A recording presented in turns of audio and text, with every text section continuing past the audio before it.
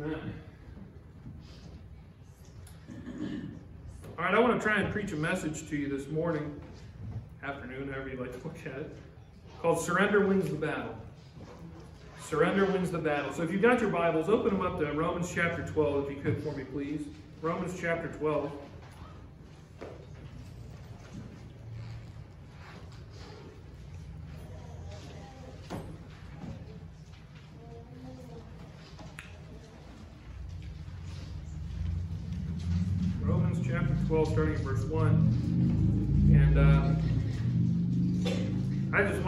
By just praising the Lord if I could uh, this afternoon. I'm, I'm just thankful that the Lord saved me. I, uh, it's almost unbelievable. Sometimes it really is. I don't know why the Lord puts up with me, and uh, I don't know why He saw fit to save me, but I sure am thankful and glad He did. And uh, there wasn't a thing that I brought to the table that made me worth saving or anything like that. But be, even while we were yet sinners, Christ died for us, knowing the state and the sinfulness and what we were in. He still died that we would have a Savior. And I'm thankful that He opened the eyes of my heart when I was 11 years old, saved me in an old vacation Bible school, that, at a vacation Bible school where the message was on hell. Uh, it wasn't, uh, you know, a Noah's Ark theme or wasn't any of these, you know, adventure to, through time or anything like that. The preacher just opened up his Bible and he preached on hell. And uh, it resonated with me enough to where I knew I don't want to go there. I wasn't going to rest on the fact I was brought up in a godly home. I wasn't going to rest on the fact that my grandfather was a preacher. I wasn't going to rest on the fact of uh, I knew some Bible songs and Bible stories. I needed to make a decision for myself, and I needed to make it official that, Lord, I want you to save my soul. I want to be written in your book of life, and uh, I want there to be no ifs, ands, or buts about it. And at that time, when I asked the Lord to save my soul, that very instant, He came in, He saved my soul. He didn't put me on a waiting list. He didn't say, well, when you're older and you understand things a little bit better, my son, you know, I'll save you then. No, he saved me on the spot. He said to suffer little children you know, to come to him. He, he speaks to kids. He speaks to young people. He speaks to adults, and he speaks to people in the you know more seasoned areas of their life. He speaks to all. The difference is we got to be able to open up our hearts. And you know, it's like uh, people want to run from God for a long time. Stop running. And let the Lord get a hold of your heart and see what He'll do. Surrender wins the battle, folks. And I want to read to you here in Romans chapter 12 and verse 1. It says, I beseech you, therefore, brethren, by the mercies of God, that you present your bodies a living sacrifice, holy, acceptable unto God, which is your reasonable service. And be not conformed to this world, but be ye transformed by the renewing of your mind, that ye may prove what is that good and acceptable and perfect will of God. For I say, through the grace given unto me, to every man that is among you, not to think of himself more highly than he ought to think, but to think soberly, according to God, or according as God hath dealt to every man the measure of faith. For as we have many members in one body, and all members have not the same office, so we being many are one body in Christ, and every one members one of another. Having then gifts differing according to the grace that is given to us, whether prophecy, let us prophecy according to the propitiation or proportion of faith, I'm sorry, or ministry, let us wait on our ministering, or he that teacheth on teaching, or he that exhorteth on exhort, exhortation. He that giveth, let him do it with simplicity. He that ruleth, with diligence.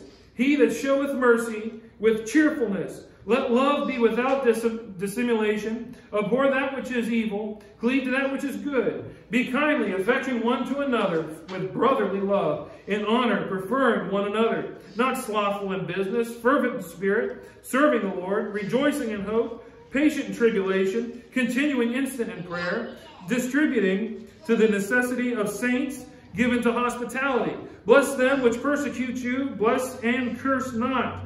Rejoice with them that do rejoice, and weep with them that weep. Be of the same mind one toward another. Mind not high things, but con condescend to men of low estate. Be not wise in your own conceits. Recompense to no man evil for evil. Provide things honest in the sight of all men. If it be possible, as much as lieth in you, live peaceably with all men. Dearly beloved, avenge not yourselves, but rather give place unto wrath. For it is written, Vengeance is mine, I will repay, saith the Lord. Therefore, if thine enemy hunger, feed him. If he thirst, give him drink. For in so doing, thou shalt heap coals of fire on his head. Be not overcome of evil, but overcome evil with good. Let's pray. Dear Lord and precious Heavenly Father, we thank you for your blessed, precious, infallible, perfect word, Lord. We thank you for those that are here today, Lord. I pray that you'd empty our hearts and our minds of distraction. I pray, Lord, that you help us to zone in on what you have to say to us here today, Lord. And Heavenly Father, I pray that you just have your way with each soul. Only you know, and only they know where they're at today, Lord. I pray that you reach them where they're at.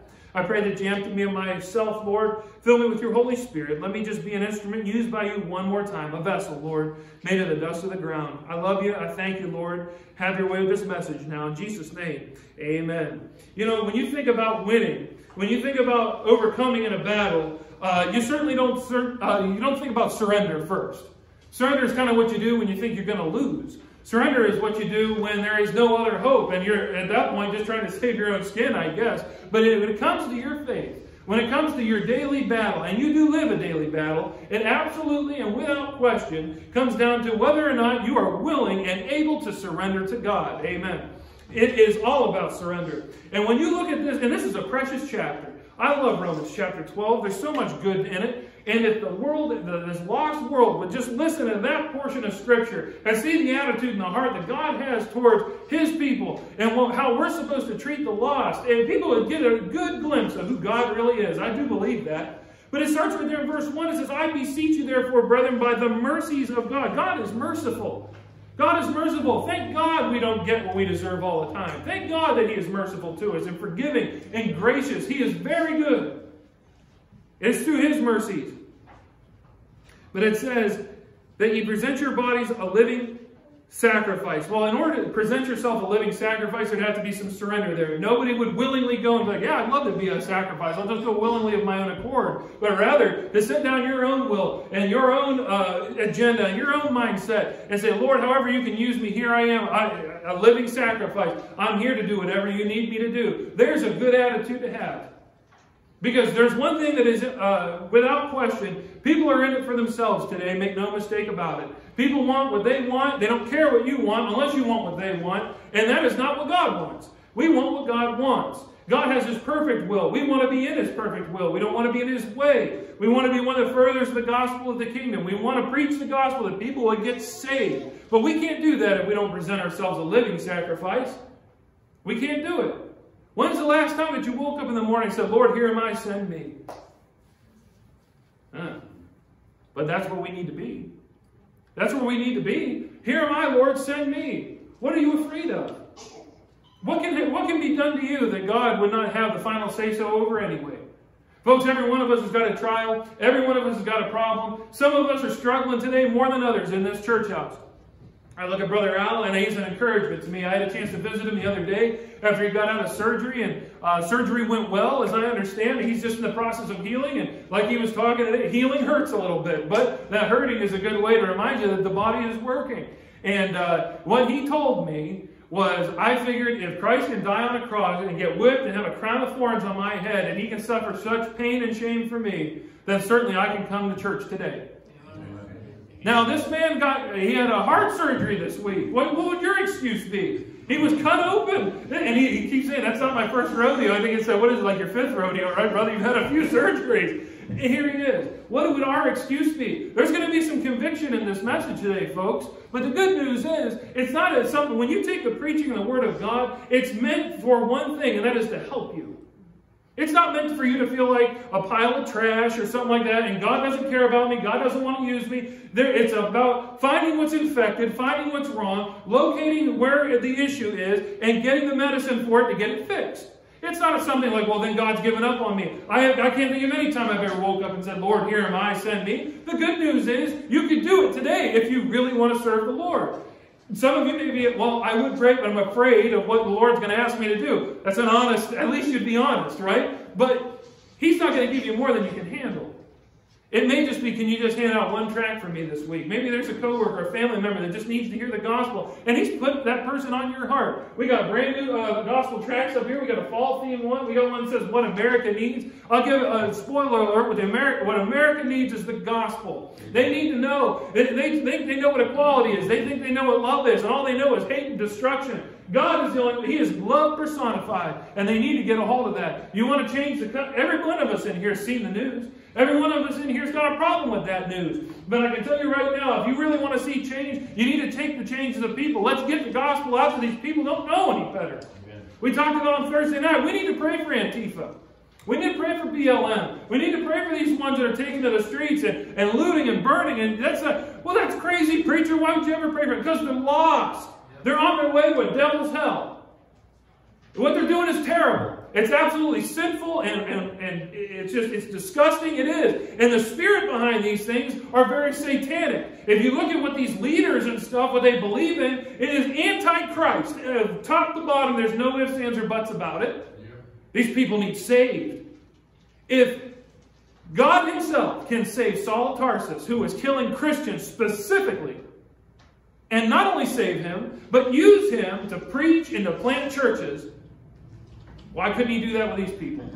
Well, that's the God back then. That, Jesus same yesterday, today, and forever, is he not? He's still sitting on the same throne. He's still the same God.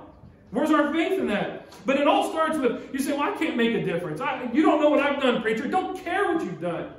And quite frankly, if you'll repent of it, God doesn't care what you've done either. What he cares about is that you've surrendered to him. Now he can use you. Some of you in here are carpenters. Some of you in here work well with your hands. Can you imagine what it would have been like if you really needed to use a hammer and the hammer somehow was able to fight back on you? It'd be pretty rough, wouldn't it? And, and some of you think I've busted my thumbs enough times to say I think the hammer is working against me. But when you have a tool in your toolbox that wouldn't want to be used, that becomes a problem. You know, no one likes to reach in, oh, I really need my hacksaw, but you realize the hacksaw got broken. Well, you can't use something that's broken. When you don't repent, when you are living in sin, when you are living the other way of the Lord, and you're a professing Christian, you've been saved, but you don't want to live for Him, He can't use you. And what kind of a life is that? The Almighty would like to reach into His toolbox and say, I want to use, I want to use brother so-and-so today. I want to use sister so-and-so today. I, I can't. They don't want to be used. They're fighting me on it. They're broken. They don't want to get fixed. I can't use them. When God uses you, there's a blessing involved. You don't believe me? I dare you. Ask the Lord, what can I do for you, Lord? Listen to him, do it, and tell me you didn't. You wouldn't just thank yourself a million times over for just submitting to God one day. Think about it. Anybody who's ever done something for the Lord, put yourself aside for a second and can't tell me that, wow, why don't I live like this every day, all day? Well, because there's flesh involved. So let's look at verse 2. It says, be not conformed to this world. That kind of goes with a discussion we had in Sunday school today. But be ye transformed by the renewing of your mind. All right, let's stop there for a second. Be ye transformed by the renewing of your mind. All right, many of you probably are familiar with the old cartoon or whatever, the, the Transformers, the toys and stuff, robots in disguise. I think it was a theme or something. It was a little flat, so please forgive me. Uh, but, you know, it was one thing, it looked like one thing, turned into something completely different. Looked like a semi-truck, turned into a big robot that could fight crime or whatever it is that he did. Uh, be transformed by the renewing of your mind. You got to think different if you're going to serve the Lord. And I, am not into you know adding to scripture or anything like that, but if I can put a challenge for it to you, I would say it needs to be a daily renewing of your mind. We talk about a daily dying to self. It really is in the same category. Denying yourself, dying to yourself, renewing your mind, putting off the old man, putting on the new. It's something that has to be done daily. It isn't a one-time thing. We're like, all right, well, Lord, uh, put off my old man today, uh, renew my mind, and I should be good for a couple months, right? You got to do it every day. You may have to do it a few times a day. Folks, this world is designed to trip you up, to get you to sin, to crush your testimony. The devil hates you. He hates the relationship that you have with the Lord. He means to destroy you. Knowing this, we have to be sober, we have to be vigilant, and we have to renew our minds. Our minds are like a sponge, and it'll soak up whatever you put in front of it, good or bad. Good or bad. It's going to suck up something. It's going to absorb something. You best put good things in front of it. You have to. Renew your mind. One day you can be out there serving the Lord and, and praising God. The next minute, you may slide back into drinking a bunch of alcohol or something like that, saying bad words or whatever it may be, and swearing. That's not what God wants for you. But just one day I had such a victory in God. The next day I was out wallowing in hell itself. You, that's why you have to make it a daily part of your life. It's not something you can put off. Not something at all. We talk about the difference between spiritual and physical food, and I bet none of you in here, unless anybody is privately fasting, which that's between you and God, and I highly encourage it. But I don't think anybody in here just was like, oh, I'm just not going to eat today. Like, I'm hungry, but I'm just not going to eat. It's absurd. It's absurd. And I know the people in this church are good cooks. And some of you live with these people and know these people very well. So there's no excuses. You can't get a good meal. It would, you say, well, I would never not eat breakfast, or I would definitely never eat lunch, or I would never skip dinner, and I, I wouldn't either. But we go days on end without even picking up our Bible, let alone opening up and reading something out of it. Folks, and you know what? Don't hold yourself to comparison of what, well, that's this this person reads this much, that person's been reading this program. Man, just open it and read it. It's all good. It's all good. Read it and see what God would have to say to you. Take some time and meditate on those verses. Let God speak to you. And when you're putting scripture in your heart and your mind, guess what? That's the time where bad stuff isn't getting on your heart and your mind. That's a time when you're not sinning. Those idle thoughts, all the idle time that your mind can spend and how much trouble it'll get you in. Renew your mind that ye may prove what is that good and acceptable and perfect will of God. How do you prove it? You renew your mind, you get yourself in the right frame of mind, the right spirit to serve the Lord, and at that time now you can prove that which is good and acceptable and the perfect will of God because you'll be living it. You know what? Everybody wants to be an individual. Everything's about this identity. Well, I identify as this and I identify as that. Try identifying as a Christian, you'll really turn that up on their head. They won't be able to understand it. What do you mean you don't like watching that show? What do you mean you don't like that dirty joke? What do you mean you don't like going there to hang out? Who cares if people are half dressed and things like that? It's different. That's different. You want to stand out? And that shouldn't be your, well, how can I stand out today? Shouldn't be your motivation, but how can I stand up for Jesus? You will stand out. And I think a lot of times the people in the church, they're afraid to do it because they know the power of God and what it'll have on their lives. And they know there'll be earthly consequences by the people that they keep their company with if they'll stand up for Jesus. Folks, it's necessary. If not you, then who? It's always, well, someone else will pick up the slack. But you know what ends up happening? Nobody picks up that slack. You know what? These uh, hate groups and terrorist groups and, and uh, all these different ones, they don't have a bit of trouble gaining, uh, gaining members for their cause. They're not sleeping on, you know, they're using their social media platforms and stuff to build up their cause. They're talking to other people and, and you know, and, and building up their cause and building up their numbers and stuff. But Christians, well, I don't want to offend anybody. Come on! Right. They, they don't give a hoot if you're offended. And you're not out to offend, but the preaching of the Word of God, it's enmity against the world. And because of that, guess what? It's going to ruffle some feathers. Whoop-de-doo. At some point, whose side are you on? Who saved you? Your aunt and uncle or Jesus Christ? Your coworker that if you had to move or something tomorrow, they would be the furthest away from you they possibly could. Oh, everything would come up. You can't count on me. But you know what? They'd ask anything of you. That person didn't save you, Jesus Christ saved you. Your boss didn't save you, Jesus Christ saved you. And I'm not saying to disrespect anybody or anything like that, but man, we'll knock ourselves over. We'll bend over backwards for people who wouldn't give a hoot about us if we lay dead in the street. But Jesus Christ is sitting there with his arms wide open. Brother, sister, my, my son, my daughter, I will give you the blessings that are in this book if you just listen to my word. Pass. Nope. Thanks anyway. That might hurt somebody's feelings. People are too soft anyway. You can use some toughening up. Give them some Bible. We're only two verses into a 21 verse chapter, my word.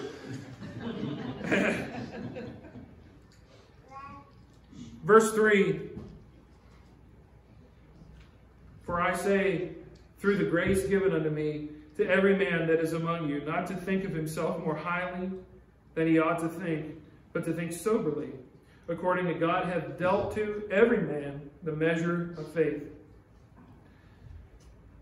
Think like a Christian, not a carnal individual.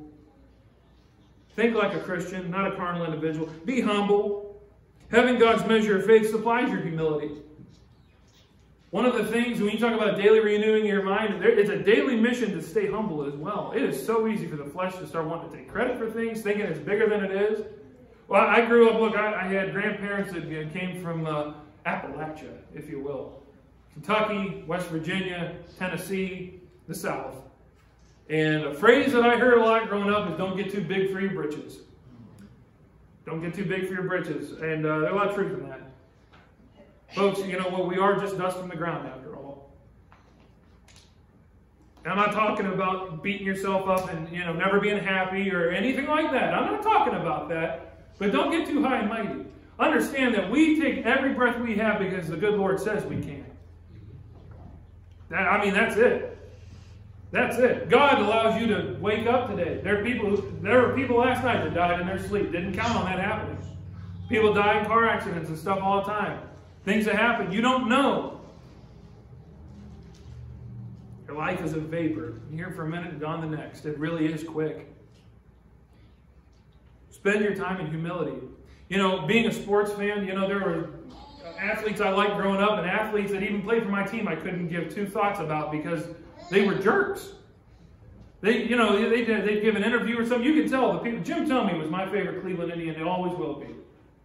That guy was as nice as could be. He'd give people all sorts of time of day. Uh, I remember my dad got a chance to meet him one time. He, he got a, a pass into the dugout, got to meet the uh, the Indians of the '90s. I mean, if you knew, man, that was the team. That was the best team to never win at all. And uh, man, but the whole point of it is, there are some people he got to meet that were really nice. He's a manager, Mike Hargrove, super nice guy. Jim Thome, he's a big hulking man. He's big like a Paul Bunyan type character. Come over and give him a big handshake. He says, Sir, thank you for so, so much for coming to support our team. Thank you so much for being a fan. We really appreciate it. Like, what athlete thinks to do that? Like, hey, thanks for spending your money. Why don't you get season tickets while you're in here and buy a few souvenirs for the kiddos at home? No, I, I, just appreciate you supporting us. Then there was others, and my dad said, well, I'd really like to get his autograph. Oh, he won't even give you the time of day. Went up to someone else, hey, can I have your autograph? I've got two little boys at home that just think the world of your autograph. And I don't got time for you. Straight up to his face. See the difference? Uh, somebody who's humble and, and, and has humility and is kind to other people, who would you want to be around? I don't care how much you know uh, money someone makes or how good they are or what they do. They don't give a hoot about you. They don't care. But that humble person, that's the one you remember. That's the one that you like. Now think about how you act. Are you a humble person? Are you somebody that you do magnify the Lord when someone says, hey, you know what? Uh, you know, Brother John does such a great job singing and playing instruments. Brother Carl does such a, a, good job singing. Sydney, she's not here today, but she does a great job playing her instruments. My wife does a good job. Come up here playing the piano, among so many others that do so much here. And I'm thankful that not one of them, at least not that I've ever heard, like, hey, did you like my singing today? Did you catch that little ditty I did on the piano up there? Pretty slick, huh? That was all me. You don't hear that. Praise God. You know why? Because there's some humility out there. Because you know what? I'm sorry, but if God doesn't give you a talent to play piano, you're probably not going to be able to play piano. Not well. I mean, you can hit the keys, but it can be pretty rough. And that's okay. No, God doesn't make everybody a musician or a singer or anything like that. But knowing that God gave the ability, not you, See, some people say, well, that, I mean, I worked hard, I took lessons and stuff. Well, yeah, you got to practice, and there's things like that, absolutely. God doesn't give people a gift and all of a sudden you're a genius at it and never have to spend any time on it. But He gave you a gift. And, it, and He gives you the opportunity as a gift to do with it what you want. Think of it this way. If somebody was to give me, uh, I don't know, uh, a, new, uh, a new golf club, my driver's wearing out, just for anybody who was wondering. no, I'm just kidding. If someone give me a new golf club, free gift. Somebody gives it to me, it's a gift. It's right-handed, so I don't have to worry about taking it back because it's left-handed. It fits me. It's it's the way I swing and all that stuff. It's just the way I like it. It's not real flexible. It's got it's the head on it I like and stuff. It's just what I wanted. Somebody gives me this gift. It's like, wow, awesome. I'll go get something else. I'll go do something else with it. What a waste. People spent the time and the money to go and do something nice for me and get me that golf club, and then just, no thanks. Just disregard and throw it aside. How many people do that with the gifts that God's given them? I mean, good gifts. Good gifts. I'm telling you, you say, well, what's my gift? I, you know what? I think cleaning is a gift. I think cleaning is a gift. I, you can tell people clean and can't. Or don't. Maybe that's the better word. Not that they can't, that they don't.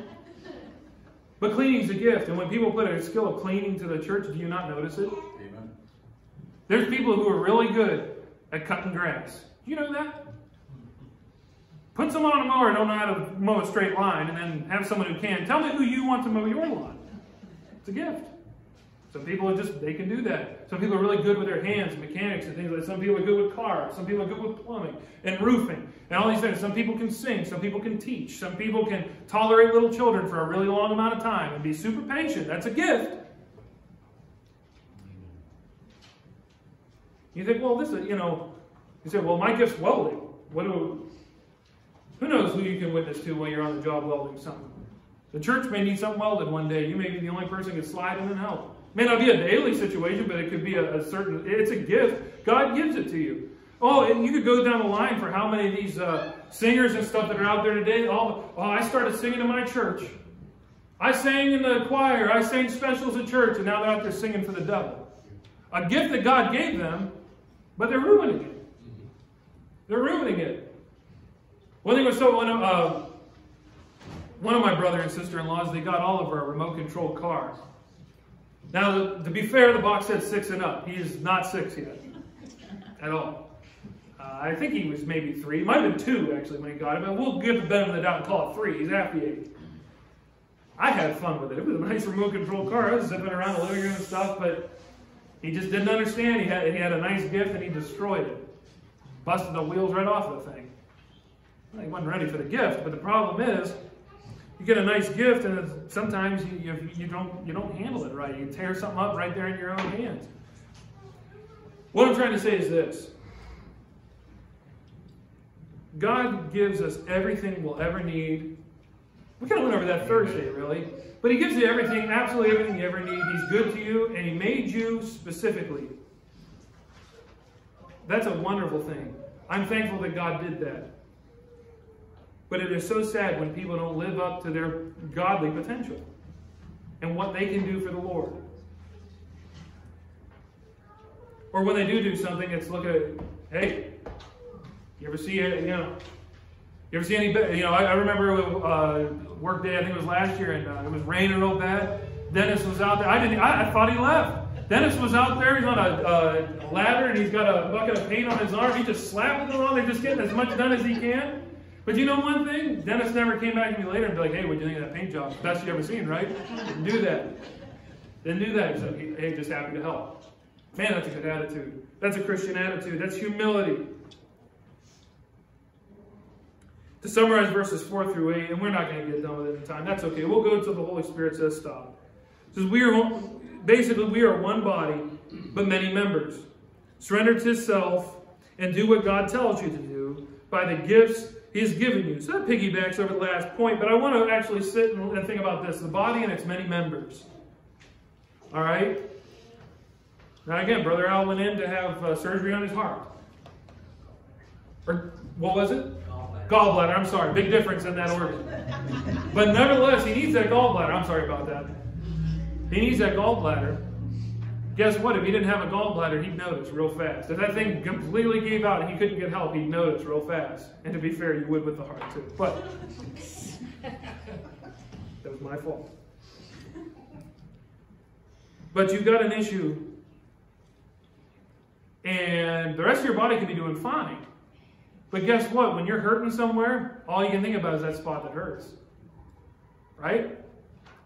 Now you think about, we talked about this morning in Sunday school, at the church.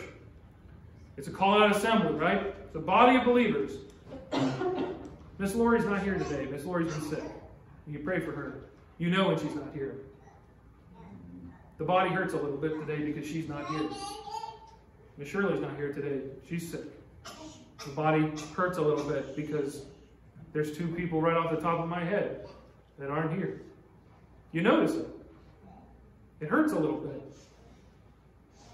You see, nobody in here would be like, if you lost half of your right leg or something, like, yeah, no, no big deal, I'll just hop right along like nothing's going on. You're going to struggle a little bit.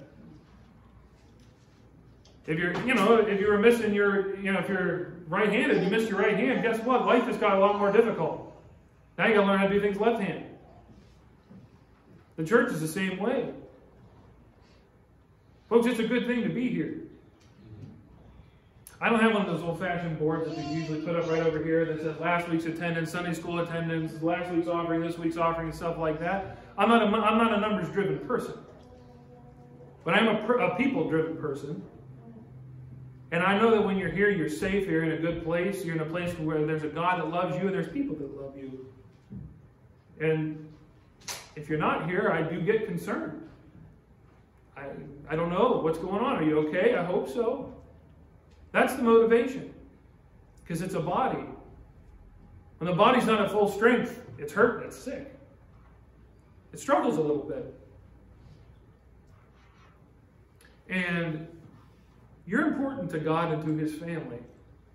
And you may say to yourself, well, I'm not a big giver. Oh, well, you're welcome here. You may say, well, I don't really have much. I don't know that I can even bring to the table. Oh, well, you're welcome here. Better to be in here than out in the world, I can tell you that.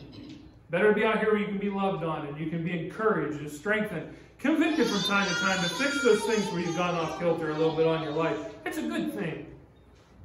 That's a good thing.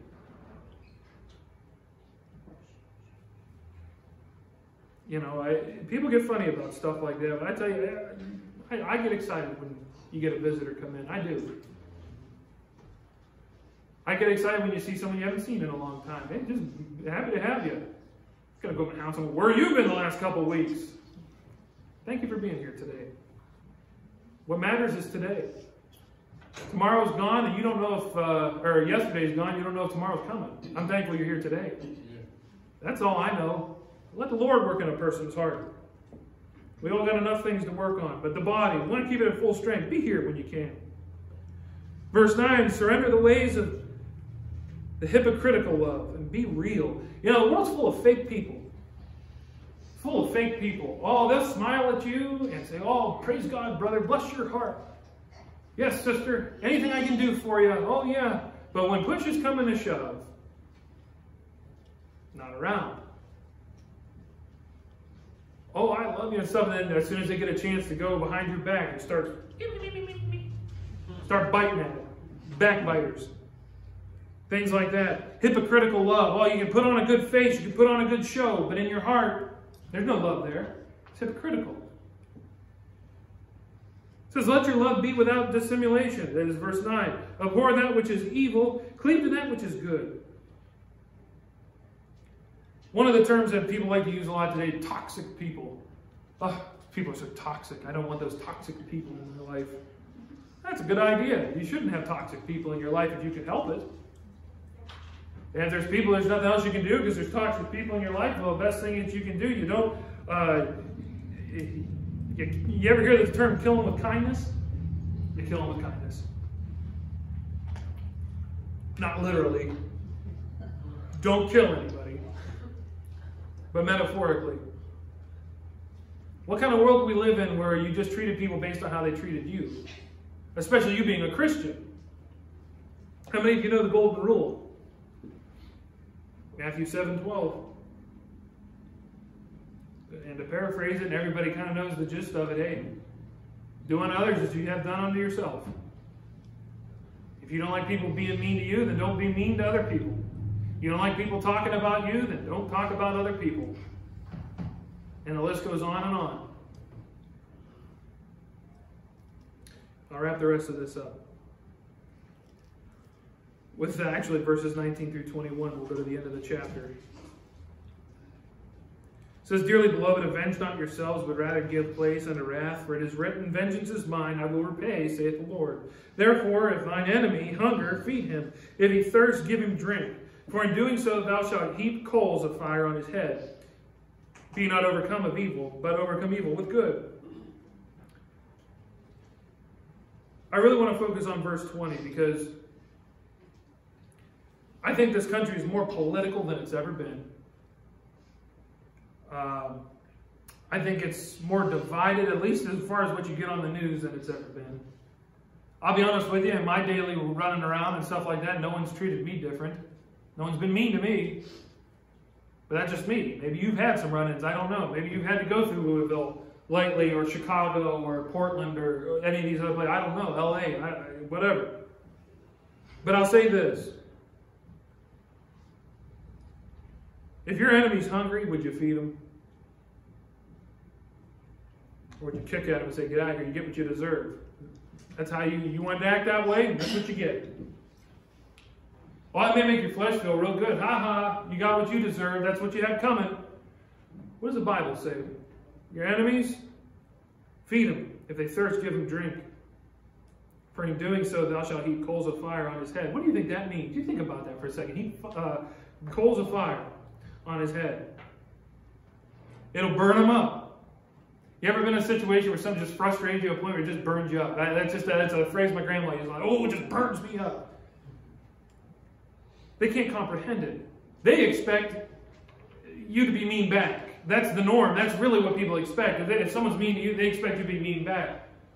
Not to be like, listen, you know what? Here, let, let me take, let me get you some food. Let me get you something to drink. Let me take care of you here tonight. What, didn't you just hear what I said? Blank you and all that stuff and everything you stand for for that Jesus and all that. Yeah, I know what you said. Here, let me. What can I do for you tonight? What kind of world would we live in if we had a few more Christians that did that? And then, folks, again, all this is tough. That's why we talk about it's a renewing of your mind. It is not natural to think this way. I want you to know that. Yeah, just because you're saved, and if you're saved today, you still have a struggle with the outer man. You've got the inner man, that born again man, but you got the outer that still desires the things of this world, still remembers what you did when you were lost, still craves the things at times that you did when you were lost, that you got to fight with and you got to renew with.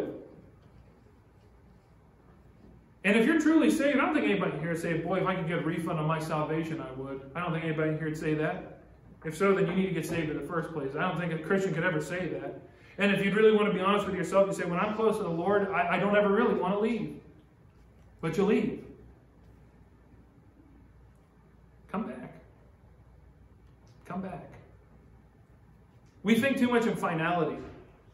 Well, I failed the Lord and I did this and I got away from him for a little while, so he'd never want me back. Sure, he does. You ever read The Prodigal Son? In plainer terms, that, that younger son, he was a jerk to his dad. Just to put it out, there he was. Give me your inheritance. Give me my inheritance. The guy wasn't dead. Usually you get your inheritance when the parent passes away, and then it really gets ugly, and some of the worst scenes you've ever... That's bad. Dad's still very much alive. Like, I'm, basically, what he's saying is, I'm sick of you. I'm sick of your rules, living at your house, doing your work. I know you got, I got money coming my way that you earned your whole life. Give it to me so I can go and be frivolous with it and stupid with it. And uh, I don't care about anything that you've ever done for me.